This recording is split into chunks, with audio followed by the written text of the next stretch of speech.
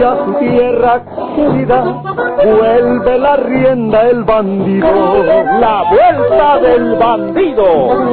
Otra vez en acción, el borrascoso bandido de la Sierra del Guajuco, Porfirio Cadena, el ojo de vidrio. Por el cañón de la sierra se acerca un desconocido, pero es Porfirio Cadena. Vuelve a su tierra el bandido. La vuelta del bandido. Otra emocionante serie rural mexicana del escritor norteño, don Rosendo Ocaña.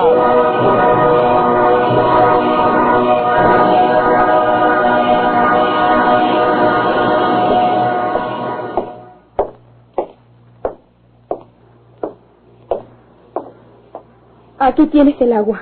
Gracias, Janet. Tómala. Sí.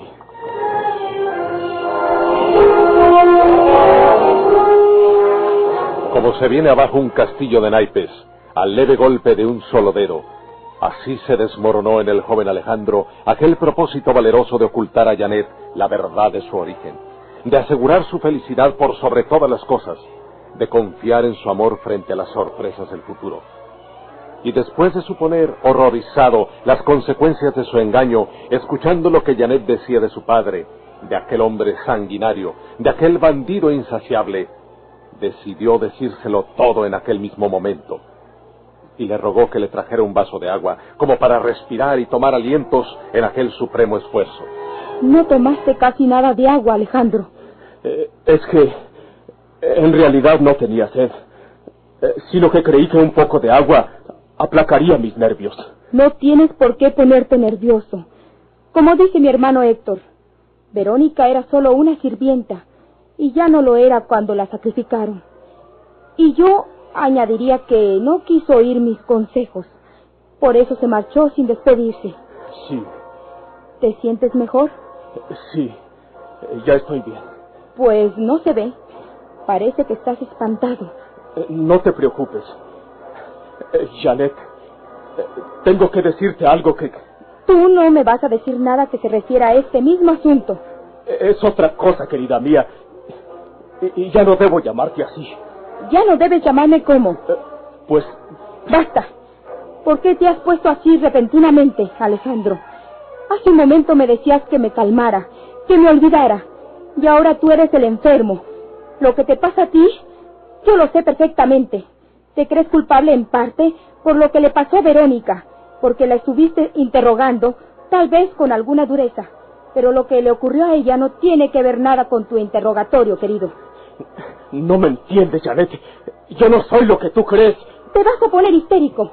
Voy a tener que reprenderte para que te calmes. Yo sé muy bien lo que tú eres. Y sobre todo, lo que eres para mí. ¿Qué es lo que me importa? Lo demás no tiene ninguna importancia para mí. No te importa lo demás. No te importa mi origen. Verdaderamente, Alejandro, no conocía este ángulo sentimental de tu temperamento, querido. Si tú me has contado tu origen humilde, si eso ya lo sé, yo y lo sabe mi familia, ¿por qué tienes que preocuparte por ello? Tú, tú no sabes nada, Janet. Sé todo lo que necesito saber y basta. Pero yo te lo voy a decir. Tú no tienes nada que decirme. Si no te lo digo ahora, ya no te lo digo nunca. Pues no me lo digas nunca. No tienes que decírmelo jamás. Yo te estoy preguntando algo. Te estoy preguntando algo, amor mío. ¿Crees que te quiero porque seas un modelo de perfección espiritual y moral? Te quiero porque eres el hombre que quiero. ¿Ves cómo ni siquiera se puede decir bien? Janet, Calla. No digas nada. Enseguida te vas a marchar a tu hotel y vas a descansar y a tranquilizarte. Y cuidado con que ahora o después me vengas con revelaciones y confidencias. La única revelación que yo quiero de ti es la de tu cariño. Janet, me has desarmado. ¿Desanimado? Si te refieres a que te he desanimado para que continúes torturándote con sentimentalismos, me felicito de haberlo hecho. Ya te olvidaste de que nos vamos a casar dentro de tres días. Pero... Ahora le vas a poner peros a nuestra boda. Muchachito asustadizo. Te quiero tanto. Y yo también, Alejandro.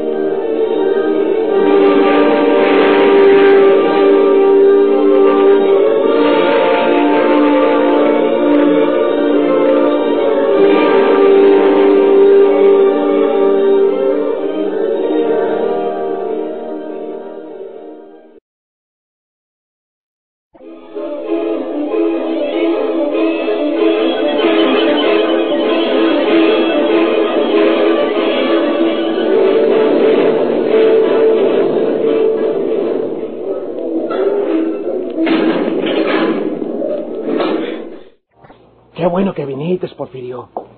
Pues sí iba a venir desde la mañana, pero pero andé un poco ocupado en, en otros asuntos. Eh, Yo quiero que hables con el inspector, para que me dejen en libertad. Tú no sabes lo que pasó en la mañana. Me llevaron con él, para que ampliara mis declaraciones. Y cuando estaba en su despacho, cayó un telefonazo para mí. Yo creía que eras tú. ¿Sabes quién era? no. El Texas. ¿Qué? Isauro el Tejano. El mismo, Porfirio. Pero Me saludó riéndose el desgraciado. Y pa' pronto me dijo, mira cómo te traigo, infeliz. Y luego me dijo, te van a colgar por esa muerte. ¿Qué quiere decir eso, Porfirio? Que el Texas está en Monterrey, que me andaba siguiendo. Y que luego que yo dejé a Verónica en el cuarto, como la llave se quedó por fuera, pues entró y la mató. sí, Y como sí. yo había dejado mi pistola adentro, pues la mató con mi pistola. Y le limpió las guas digitales para que la policía dijera que yo se las había limpiado. Y el inspector se dio cuenta de que te telefonió el Tejano. Yo se lo dije luego, luego. Yo le expliqué las cosas. Preguntó a la compañía de qué teléfono le habían hablado. Y le dijeron que de un teléfono que está en un sitio de carros en la calzada Madero con Juárez. Mm. Y lo andan buscando. Pero pues no lo han podido agarrar. Y tú sabes lo ladino que es el desgraciado. Sí. Yo quiero que hables con el inspector y le digas que la mejor manera de agarrar al Texas es soltándome a mí. Porque el Texas aquí anda. Aquí tiene que estar escondido.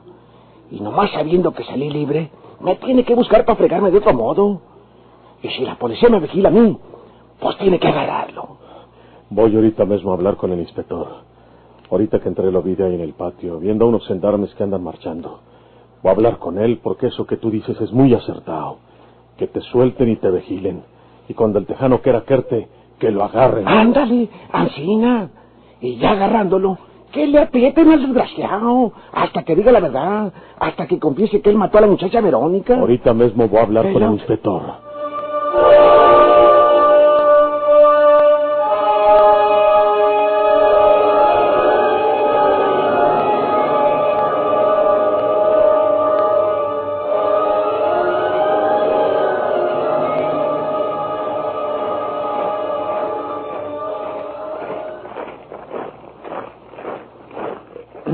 Inspector, soy Porfirio Cadena. ¿Puedo hablar unas palabras con usted?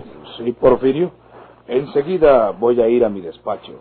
Estoy observando los ejercicios de estos gendarmes nuevos. Necesita más vigilancia la ciudad y hay algunos que ya saben de milicia y que pueden entrar en servicio, desde luego. Pero es preciso verlos para seleccionarlos. Sí, inspector. Entonces ahí lo aguardo en su despacho. Por ahí nos veremos enseguida.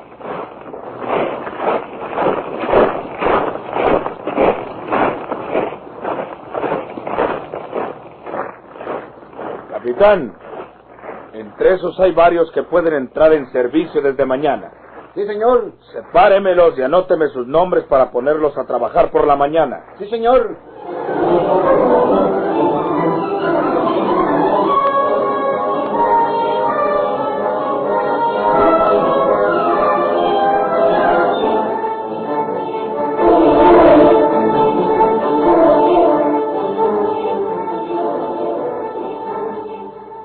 Esto que le acabo de contar, inspector, no vaya a creer que pasó hace años. No, señor. Pasó el año pasado. Y desde entonces el tejano quiere vengarse de Lino. Ya he estado a punto de matarlo varias veces. ¿Aquí en Monterrey? No, no, señor, en Reynosa y luego a bordo de un tren. Y tenga usted la seguridad de que el tejano mató a esa muchacha. Solo Ancina se explican las cosas. Fíjese como en aquella ocasión hasta se echó la culpa de haber asesinado a su madrastra con tal de que Lino saliera en libertad, para que se lo llevaran para el otro lado y allá lo horcaran como estuvo a punto de suceder. Sí. Pues ese es el estilo que usa el tejano en su venganza. Quiere hacer sufrir a Lino. Por eso mató a Ancina a esa mujer, para que las pruebas estuvieran en contra de él. Parece que así es. Bueno, pues vamos a ver lo que dice al detenerlo, porque tenemos la seguridad de que no ha salido de la ciudad. Mire, inspector, deje que salga en libertad Lino. El tejano lo sabrá por los periódicos, lo buscará otra vez, y si ustedes lo vigilan, agarran al tejano con facilidad. No es mala idea. Procuraré hablar hoy con el agente del Ministerio Público, porque ya él tiene el caso. Y aunque sea provisionalmente, si él acepta, dejamos salir a Buitrón vigilado discretamente para ver si cae el tejano. Se lo agradeceré mucho, señor inspector, porque tengo la seguridad de que Lino es inocente. Ya veremos lo que se puede hacer. Bueno, pues, con su permiso, señor inspector. Pásele usted.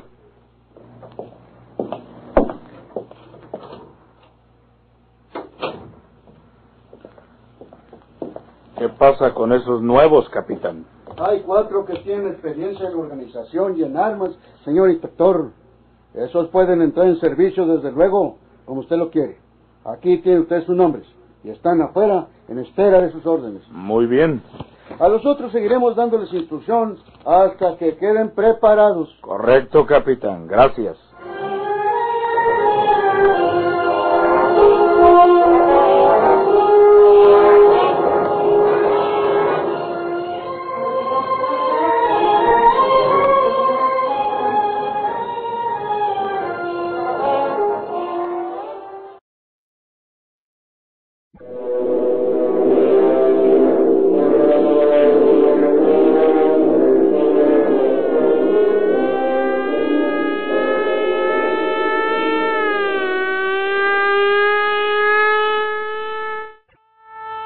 Había activado la búsqueda del asesino después de aquella misteriosa llamada telefónica que Lino Buitrón atribuía a su enemigo Isauro Valderas, alias el Tejano.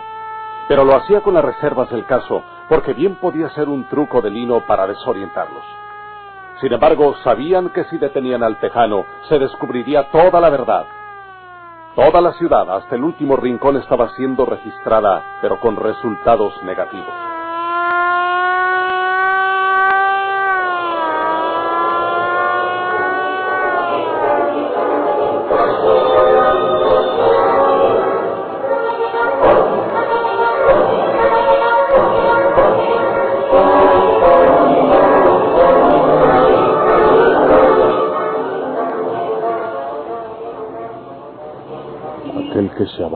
Abajó del camión es don Eliazar, el encargado. Yo creo que todavía está aquí en el hospital don Martín Cías y lo viene a ver. Me voy a esconder detrás de esta palmera, porque si me mira se pone a platicar y va a querer que le diga lo que ando haciendo por aquí. Mejor que no me mire.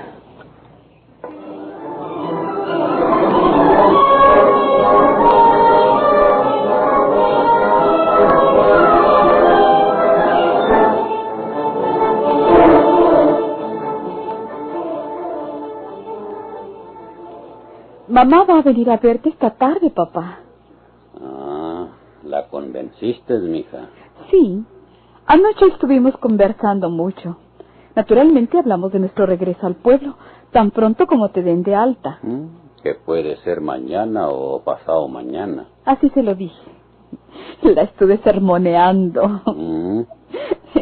¿Eh? ¿Por qué? Pues eh, le dije que no debe estar distanciada contigo. Después de todo, el día que yo me case, ustedes quedarán solos.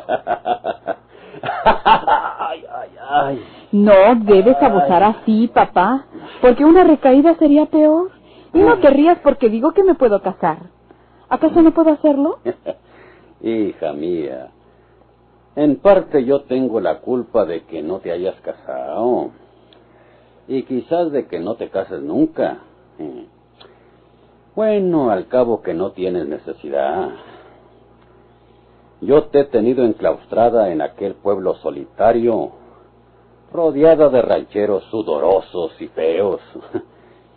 Y ya tienes unos 30 años. ¿29, papá? Es lo mismo, es lo mismo, mija. Ya no te conviene meter a un hombre en tu vida. Eres rica. Y si lo sabe un hombre perverso, se casa contigo no porque te quiera, sino por quedarse con lo tuyo. Y en vez de hacer tu felicidad, pues labraría tu desgracia. Y yo creo que la mía también, hija, porque eres lo que más quiero en el mundo. ¿Te olvidas de mamá? No, no, no olvido a la vieja, pero tú eres todo para mí en la vida, hija mía. Y perderte sería mi muerte. Pues no debes hablar así. El día que me case, no me perderás. Al contrario, ganarás un hijo. Hmm. No, no quiero hijos que luego se conviertan en cuervos y me saquen los ojos. Mira, no quiero a nadie cerca de ti, mija. Pues eh, prepárate, papacito, porque estoy enamorada. ¿Qué? Y me voy a casar. Mejor cállate la boca, Me muchacha. casaré aunque tú no quieras. Gabriela, pues qué demonios tienes ahora. eh?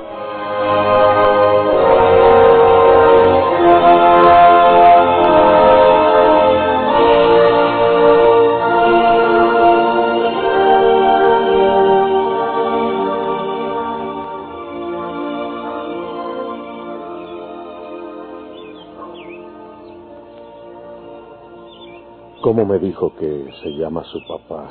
Andrés Ramírez. ¿Por qué? Eh, por nada. Eh, Siquiera saber el nombre de la persona a la que un día le voy a pedir que me dé a su hija para casarme con ella. ¿De verdad quiere dar ese paso? ¿Y qué otra cosa tenemos que hacer para ser felices, chela de mi alma? Yo te he pedido que vayas conmigo a donde, a donde estemos solos, pero No, eso no. bueno, pues, pues entonces nos casamos. Yo te quiero, chela. Te quiero con toda mi alma. Tú me quieres también. Pues nos casamos. ¿Quieres? Sí. Ya le dije algo a mi padre esta mañana. ¿Cuánto podré hablar con él? Pronto. Espera un poco. Déjame prepararlo. Ya quisiera que hubiera llegado el momento de tenerte entre mis brazos. Chela preciosa. Chela, Yo también, mi vida. Pedro.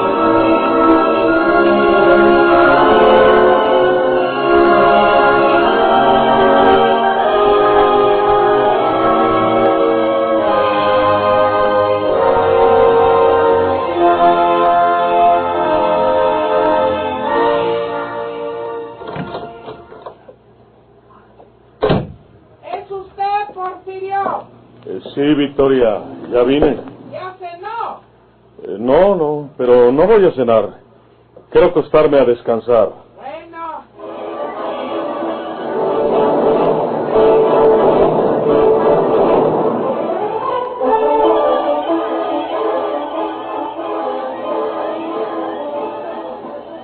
Considerando que siempre habían convivido discretamente, como lo hacían en el rancho, Porfirio y Victoria ocupaban un mismo departamento en aquella casa de huéspedes, una de las más respetables de la ciudad, y nunca se había presentado un solo incidente. Pero desde que Alejandro le había dado aquellos consejos para prevenirla del temperamento apasionado de aquel hombre, el ambiente parecía estar contaminándose de tentación. Aquel silencio, aquel vacío de palabras, aquella respiración que parecía escaparse del pecho. Porfirio, Mm, mm, eh, ¿Qué? Ah, Victoria, ¿me asustaste? quiero hablar con usted. Y, y yo creía que todavía estaba despierto. ¿Me puedo sentar tantito aquí en la orilla de su cama? Pues, pues sí, pero, pero ¿por, por qué no lo dejamos para mañana, Victoria? No quiero ¿Eh? dejarlo para mañana. Es que... Yo quiero decirle que nunca me separaré de usted y que no quiero que otra mujer se meta con usted porque... Victoria, Victoria. No, Victoria, no. No, no, Victoria. No, no me quiere. No, me quiere, no me quiere. Victoria. Sí, sí, sí, sí, sí, pero... Pero... eh, Victoria, Victoria. eh,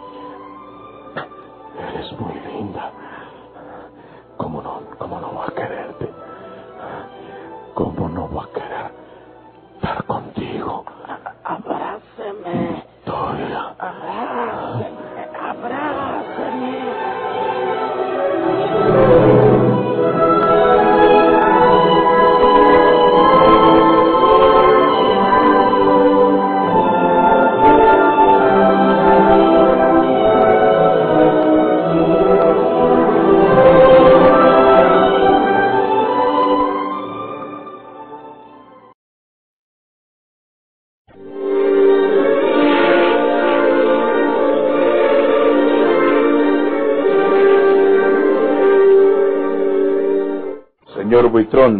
acuerdo con el agente del Ministerio Público, va usted a salir con las reservas de ley.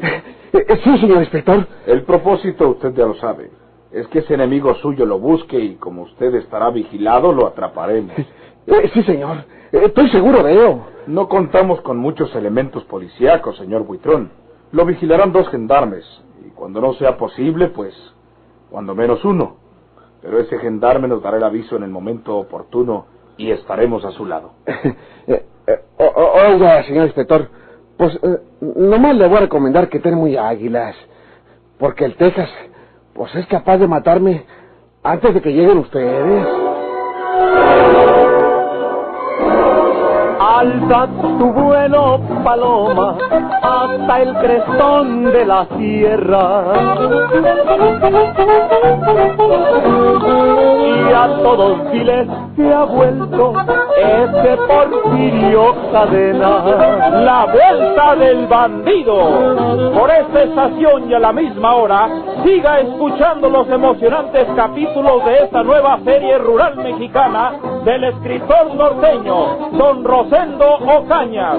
Muchas gracias por su atención. Vuela, vuela, palomita, a la región de tu. Y a todo el pueblo le avisa que está de vuelta el bandido.